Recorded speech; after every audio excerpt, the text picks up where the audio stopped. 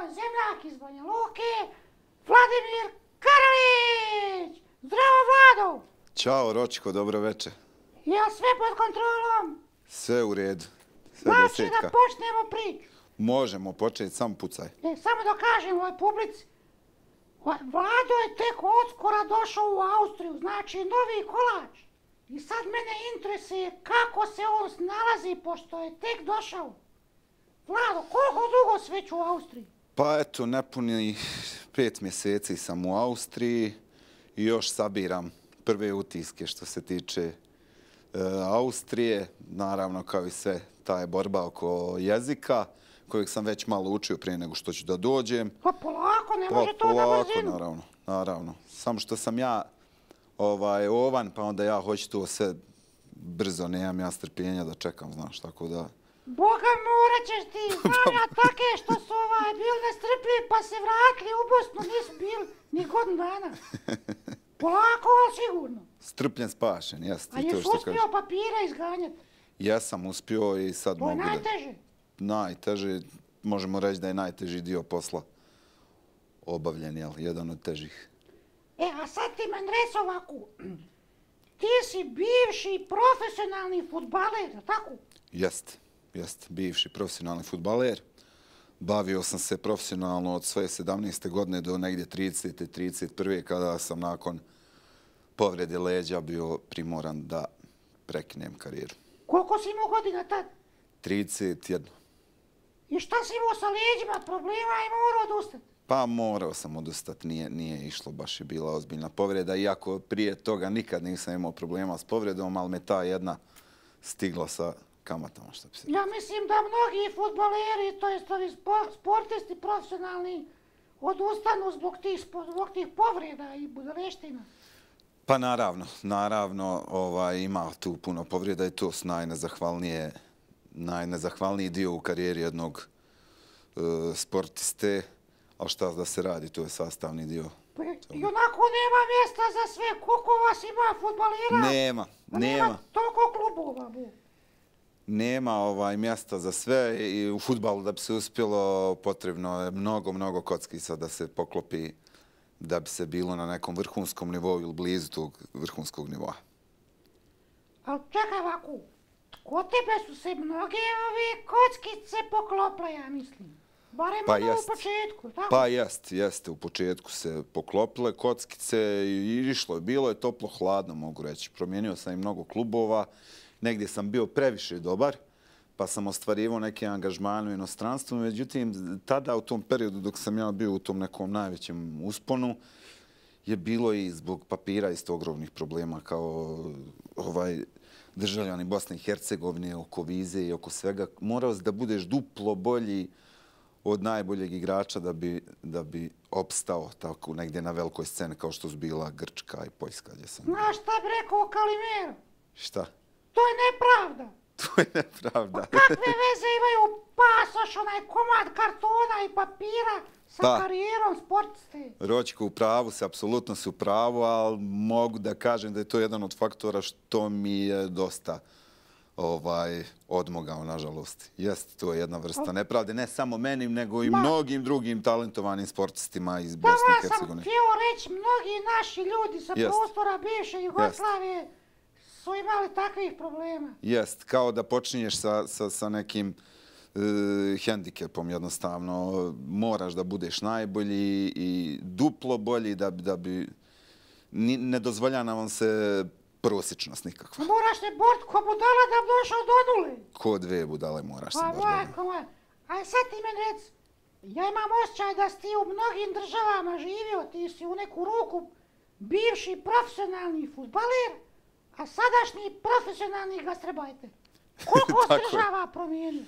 Pa zvanično država gdje sam živio, ajde računajući, ali Banja Luku. nabroj nam sada gdje sve živio i koliko godina. E ovako, ajde, počet ćemo od rođenja. Rodio sam se u Beogradu. U Beogradu? Onda, jeste, u Beogradu sam se rodio dok je moj otac igrao za Crvenu zvijezdu. Zatim je otac, pratio sam ga naravno kod dijete, e, bio u Grčkoj dvije godine, onda sam u Banja Luci bio od 86. do 91. Od 91. do 96. sam bio u Atini, od 96. do 98. na Kipru, Pafos i Larnaka. Čekaj, sad, ima još polako, nemoj zaspat sam. Ovaj, onda sam se vratio u Banja Luku do 2005. Tamo sam, eto, da kažem, stasao u jednog, od jednog od najvećih talenata ovaj, u Borcu i u 2005. sam opet odšao u Grčku, ovog puta naravno sam, u Solun, igrao sam za Paok. Onda sam se vratio, bio sam u Sarajevu, poslije Sarajeva... A šta si radio u Sarajevu? Igrao za FK Sarajevo. Ja znao ko igrao?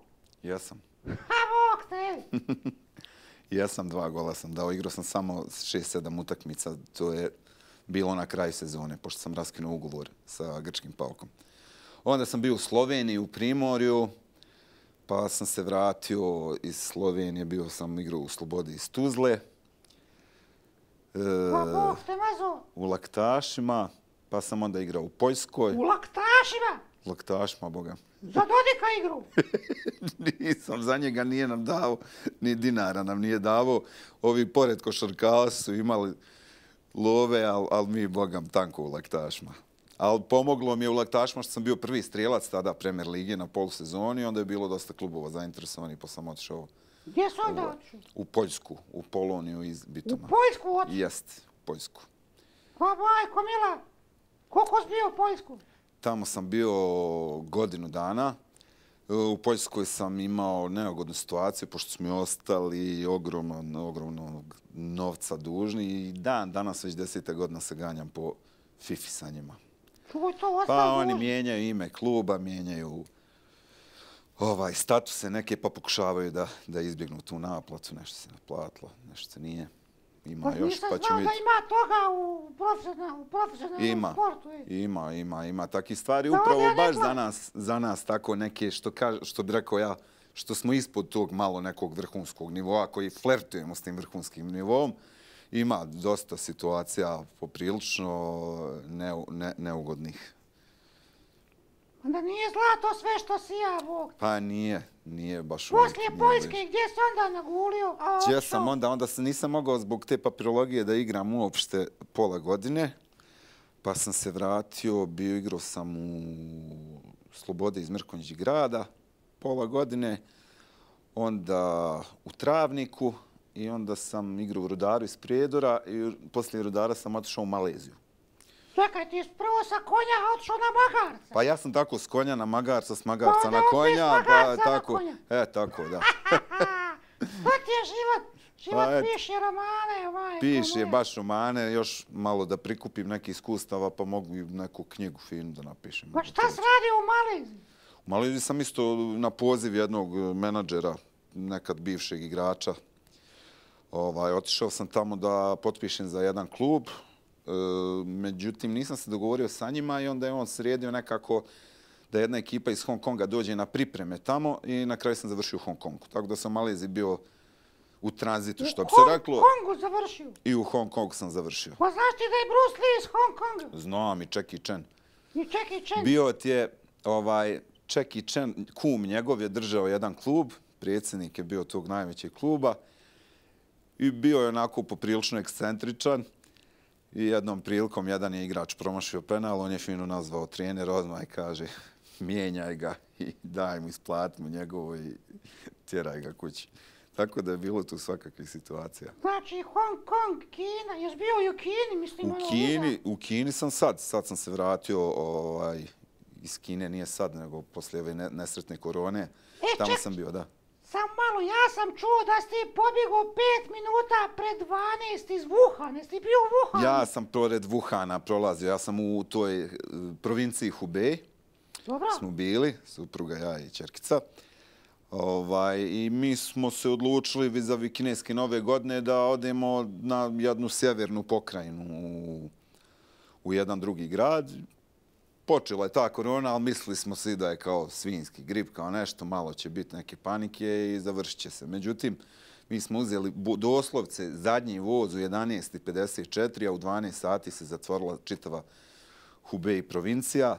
Bili smo onda u, na tom sjeveru Kine u karantinu neki mjesec dana i onda... U karantinu bili u Kini? Jeste, na 22. spratu u jednom stanu od, od, od prijatelja Aha, mjesec i nešto dana. Mjesec i nešto dana smo boravili. Mogli smo da izlazimo svaki drugi dan na dva sata da izvršimo onu nabavku jel, za, Pa je bilo tamo još naših svijeta ili si ti jedini? Pa- Koronaš ovaj. tamo kad vidiš e, bijelog čovjeka, posebno u tim pokrajinama gdje smo mi bili, nije Šangaj i Peking, ti u tim dijelovima možeš da vidiš stranca, a ovdje je jako teško. To kad, kad sretneš nekog stranca, čak i crnca, da kažem, to se grli To ljubi. sve da- naši. To sve naši, jes Pa tačno znači tako. ti si imao čast da prvi doneseš, uvezeš ovu koronu u Bosnu. Jeste, kad sam se vratio e, iz Ko je Kine, Dovukao ove kineze, kinesku koronu u Bosnu.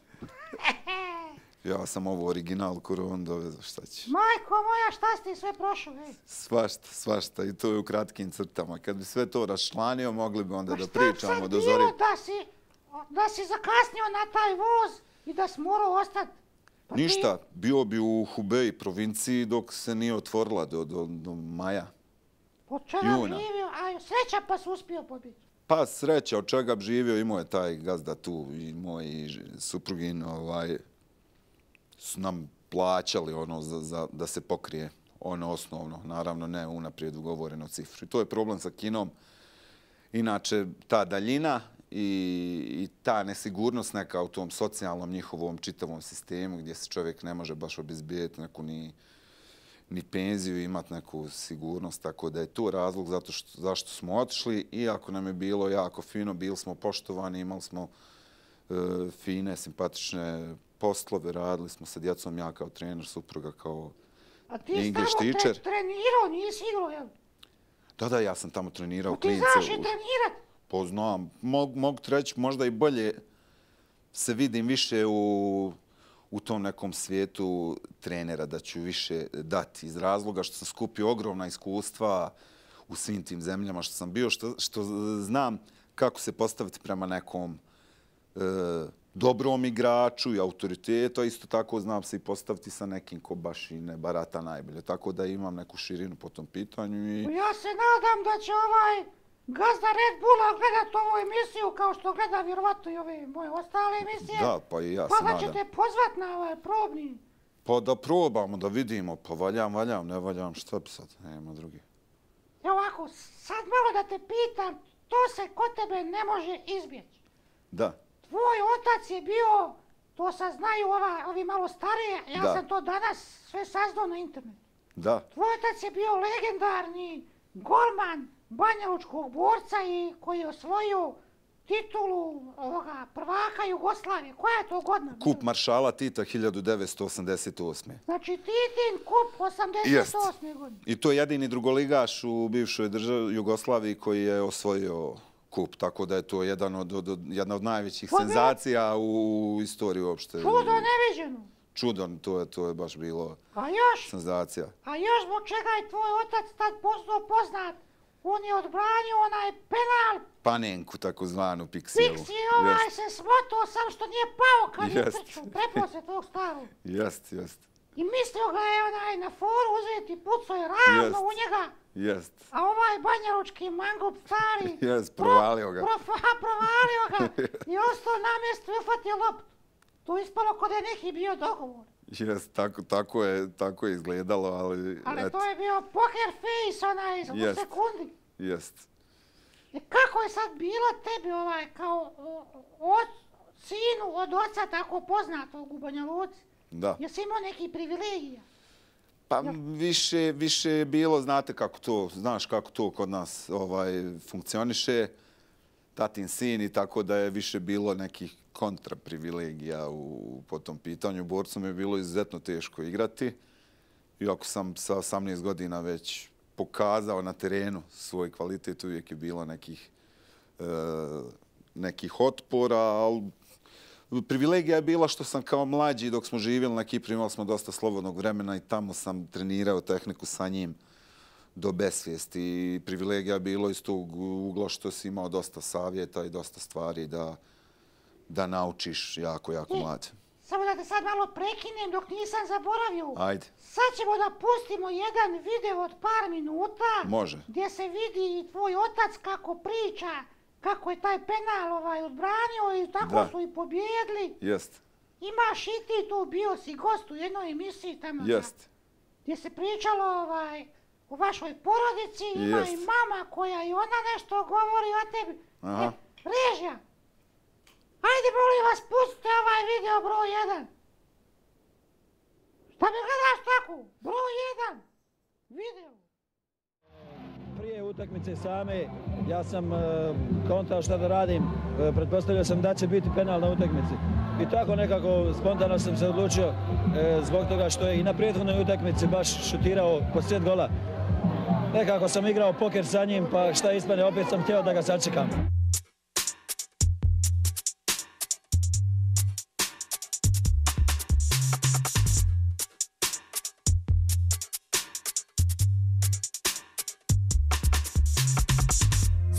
Tim što je Slobodan trenirao, išao svakodnevno na utakmice, na treninge, vodio je i vladu na, sa sobom. On je bio zainteresovan, zato nije uticao niko na njega, jer ovaj mlađi sin nije velika razlika između njih dvije godine. On nije volio ni da ide na utakmice, ni ga je to interesovalo.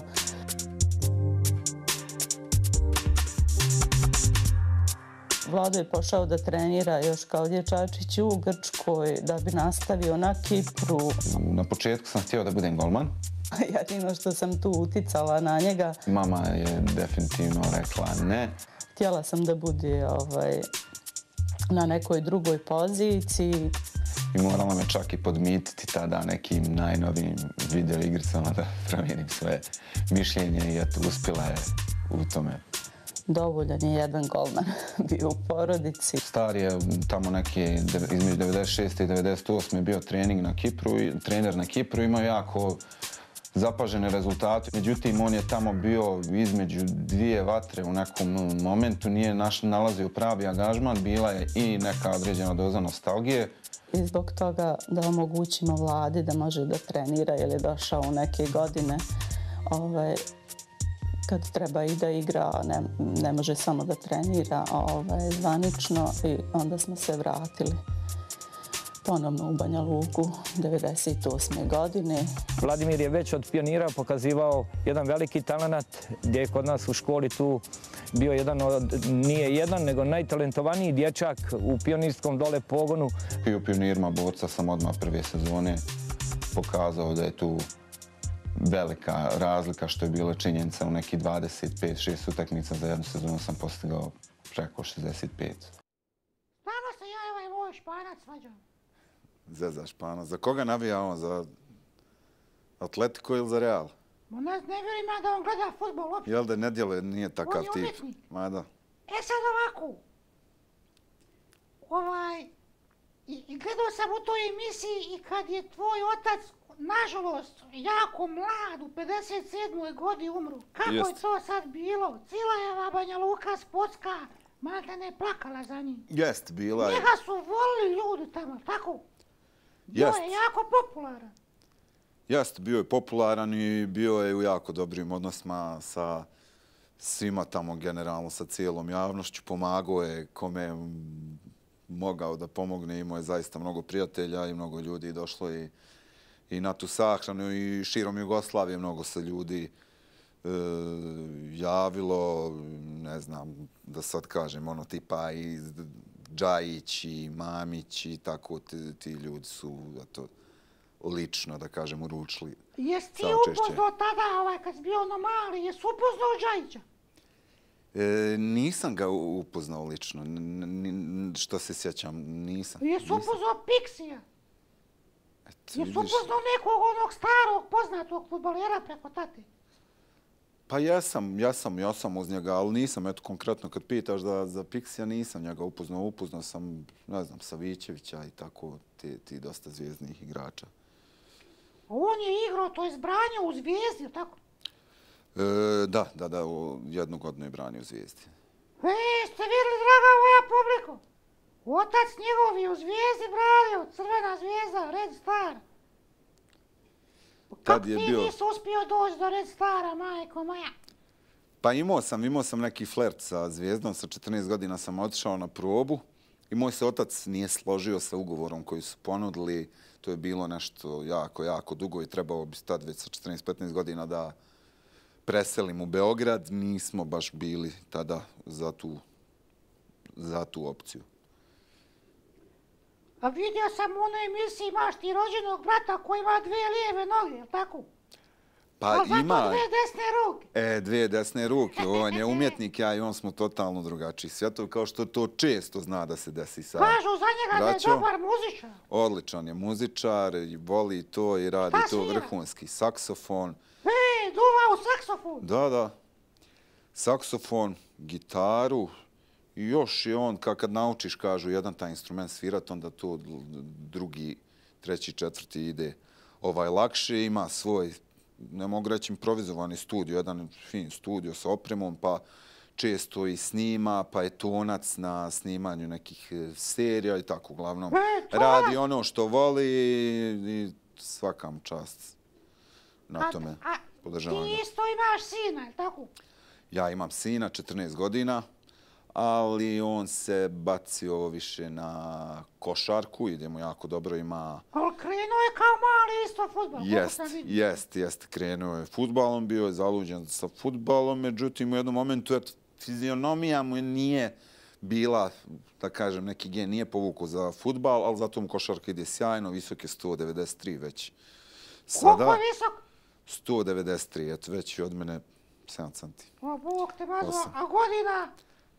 15 puni u martu. Znači, Pa to će sa 20 imat 3 metra kako je krenuo. Jest, koliko jede 3 kilometra. Treba to nahraniti. Valja, A baš. sad mi je jasno što si došao u Austriju, traž posla. Taš Bog te, to mora, treba nahraniti, definitivno. E, super Baš ti tako. to, ovaj, ništa bez sporta nema, ovaj, ili umjetnost. Naravno, Mora čovjek nešto raditi. Mora čovjek, pa makar i ako ne može da živi od tog, bar da se sa tim e, bavi i zanima iz razloga što tu se upozna jako i finih ljudi i jednostavno to je super. A sad ovaj, još malo ćemo o futbalu, pa ćemo onda preći na nešto drugo. Ajde, može. Imamo ovdje, jedan sam video našao na ovom YouTube-u, Dobro, ovaj, a, neke tamo tvoje grafike, golove Da. i to. Sad ima malo toga. da pogledamo. Može. Režija! Е, пусти ми овај видео број 2, где овај Владо растура овие противнике. Број 2.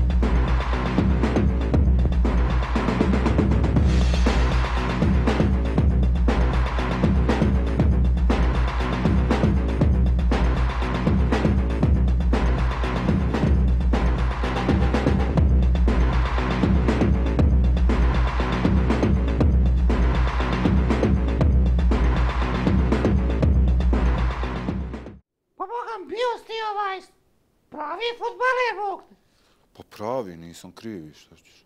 Dobro stoji ono, onaj dre, dres i ono, šorci tu. Jel da je fin, zgodan bio. Sad sam malo udebljivo, moram, moram malo se... Koliko si najviše golova dao u, u nekoj sezoni? Uf, da, svi omladinskim kategorijama to su obarali i rekordi konstantno, ali ajde ne možemo reći da računamo. To znam u pionirima prve godine sam za 20, kako bilo, č- 26 utakmica dao 67 golova pionirima.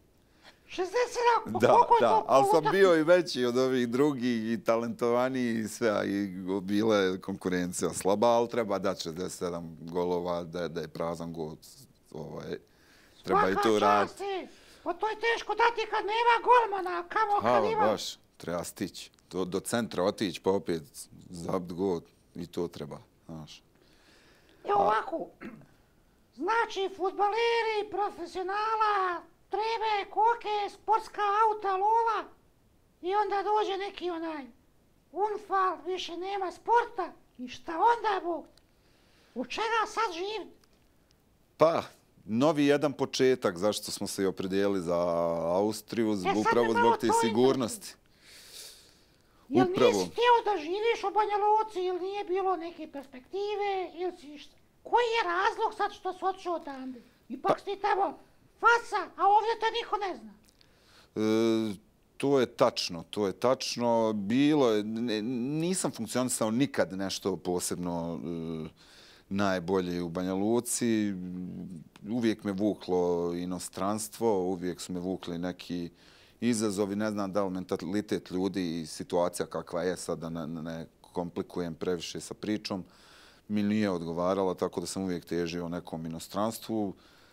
Ovaj, da, ovdje treba početi od nule, ali gledam na Ne, ne, djecu, is- ispod nule se počne. pa ispod nule, Kad da, naučiš jezik, kad tako je. naučiš čitat, pisat, pričat, slušat, to Jest. jest razumit, e onda si na nuli. Jest, E, teško jest, je to. jest. Moraš izdržat. Poslije tri godine će biti puno bolje, a prve Tako tri je. godine je malo zeznuto, znaš. Tako je, tako je. Tako ja, mi svi pričaju ovi gastarbajteri. jele? Znači, ne ginem tri godine baš ono da, da se namučim. Samo ne smiješ popustiti. Pa neću popustiti. Ne, A ne, šta da mi, ti ne sad- dozvoljavam to moj duh.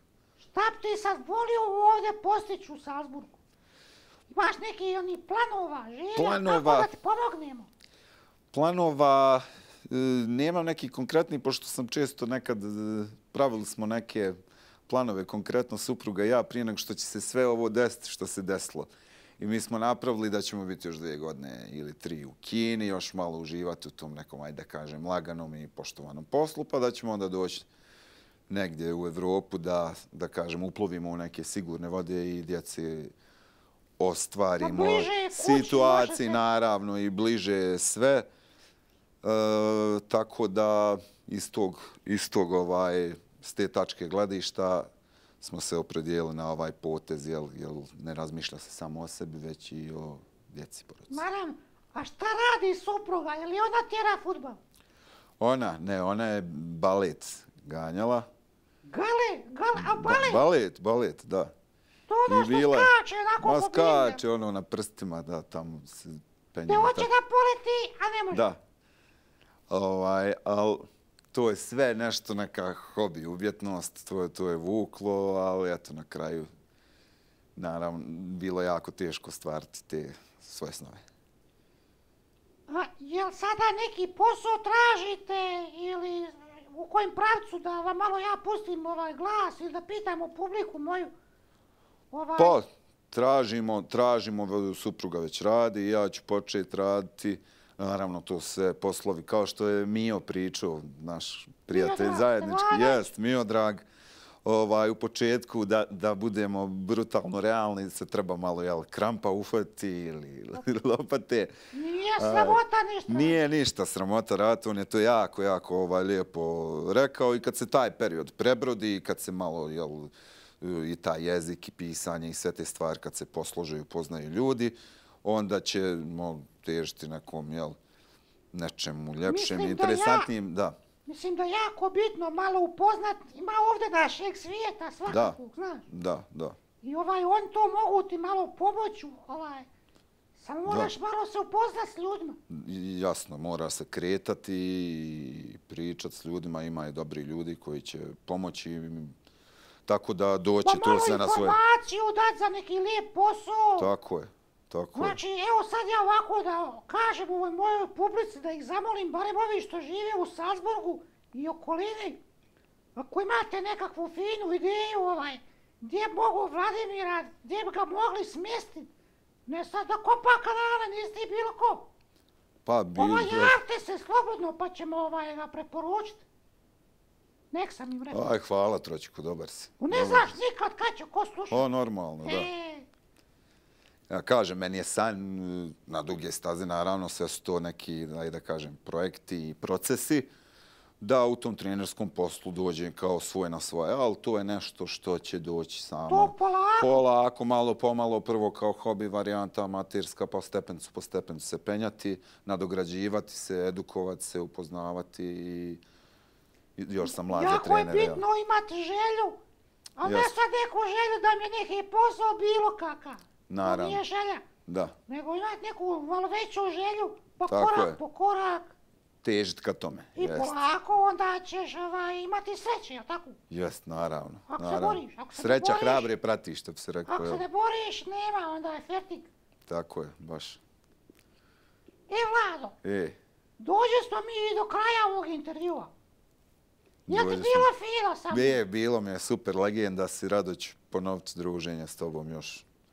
E, super, i meni je ovaj bilo fino, znaš kako, nema baš puno ovaj takvih gosti ovdje koji su po cijelom svijetu ganjali loptu.